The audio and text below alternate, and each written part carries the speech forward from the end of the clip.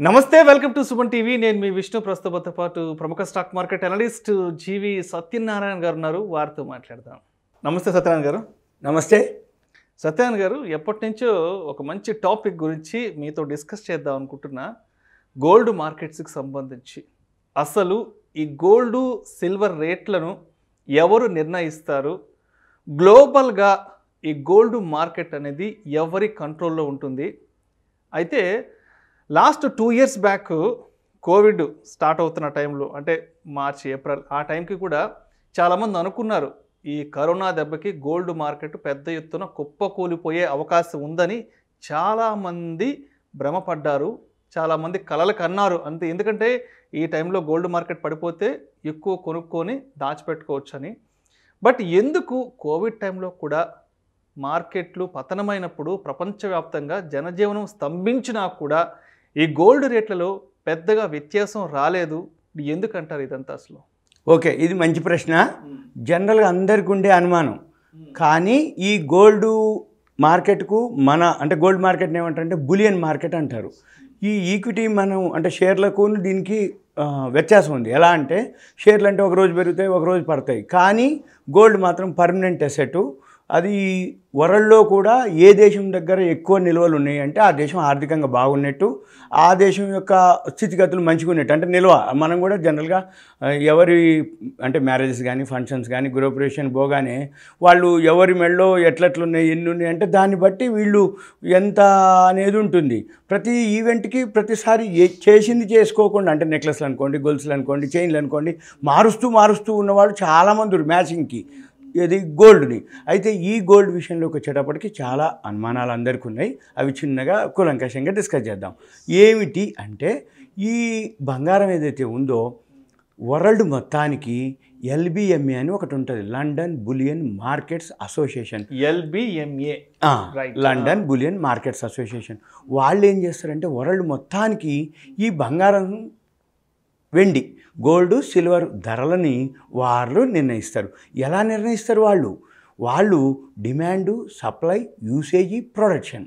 ఈ డిమాండ్ ఎంత ఉంది మార్కెట్లో? సప్లై ఎంత ఉంది యూసేజ్ ఎంత ఉంది మన దగ్గర మైన్స్లో ప్రొడక్షన్ ఎంత ఉంది వీటన్నిటిని మ్యాచ్ చేసుకొని మార్కెట్ సినారియోని బట్టి మైన్స్ కాస్ట్ ప్రొడక్షన్ చేస్తే ఎంత పడుతుందో డిసైడ్ చేసి వాళ్ళు ఏం చేస్తారు? ప్రతిరోజు ఉదయము ఏఎంపిఎం సాయంత్రం. ఉదయం ఒక ధర సాయంత్రం ఒక ధర.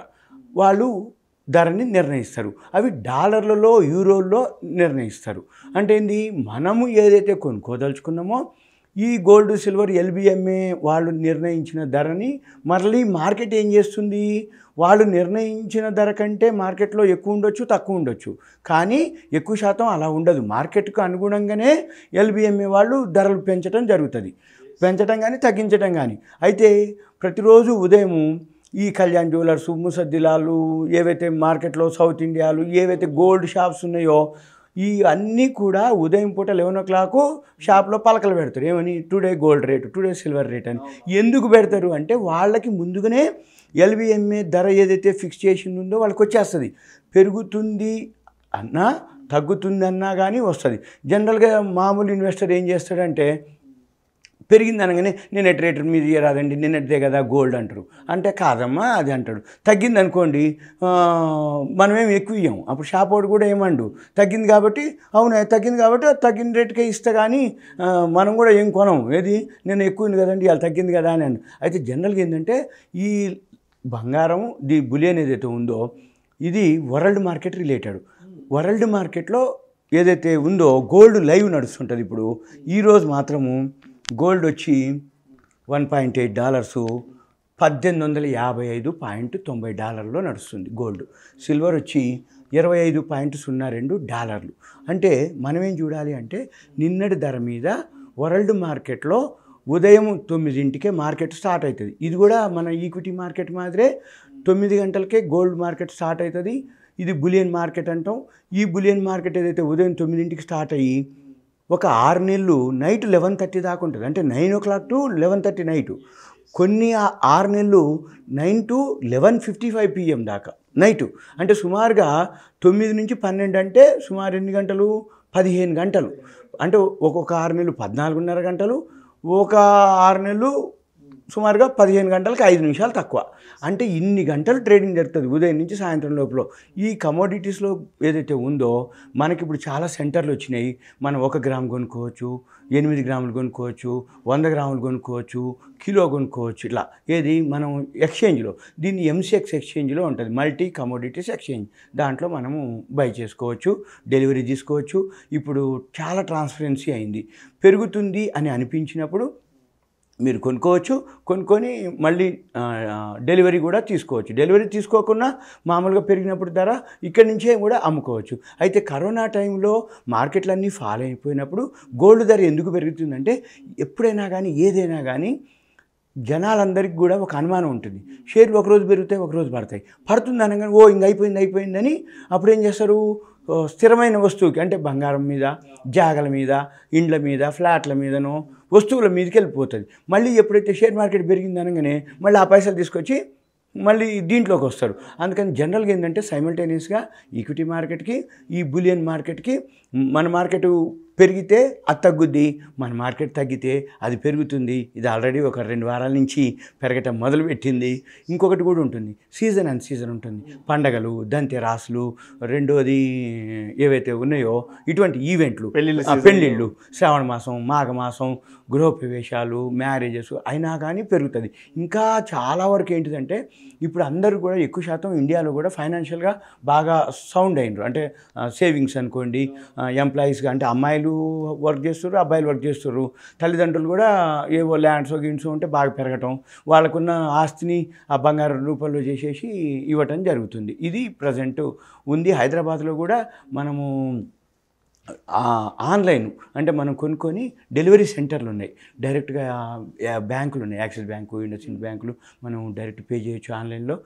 మనకి గ్రాములు ట్వంటీ ఫోర్ క్యారెట్స్ బార్లు ఇస్తారు వాళ్ళు.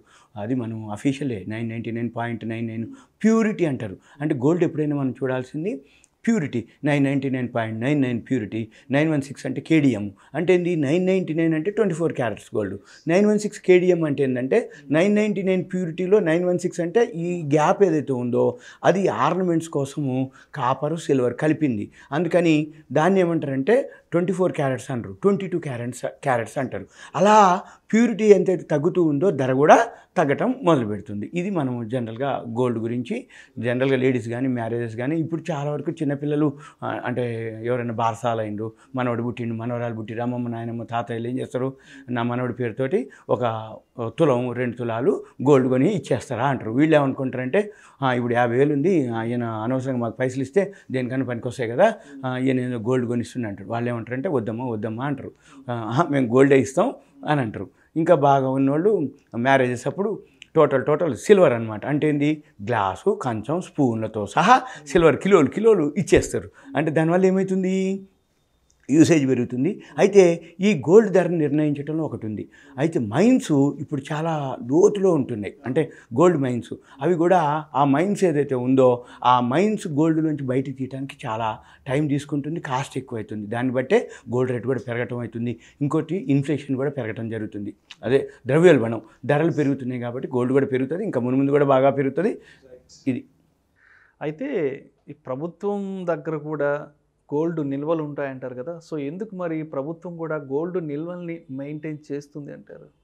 అంటే గోల్డ్ నిల్వల్ని బట్టే దేశం యొక్క ఆర్థిక స్థితి ఉంటుంది. అంటే బంగారం కనుక దేశం దగ్గర నిల్వలు ఎక్కువ ఉంటే ఎ- వరల్డ్లోంచి ఇగో మా దగ్గర బంగారం నిల్వలు ఇంత ఉన్నాయ్యా నువ్వు మాకు అప్పియ్యి అని తెచ్చుకోవడానికి అయితే ఎవరు కాడ నిల్వలు ఎక్కువ ఉన్నాయి ఎవరి దగ్గర ఉన్నాయి అంటే దాన్ని బట్టే అంటే వాళ్ళు ఫైనాన్షియల్గా అంటే ఆ దేశం ఆర్థికంగా స్థితిగతులు ఉంది. ఇప్పుడు మనం మన ఇండియాలో ఎక్కువ నిల్వలు లేవు. మిగతా వాళ్ళ దేశాలతో పోలిస్తే డేటా ఉంటుంది. కొంచెం అది చాలా ఇక lengthy subject thank you thank you so much Satyanarayana గారు.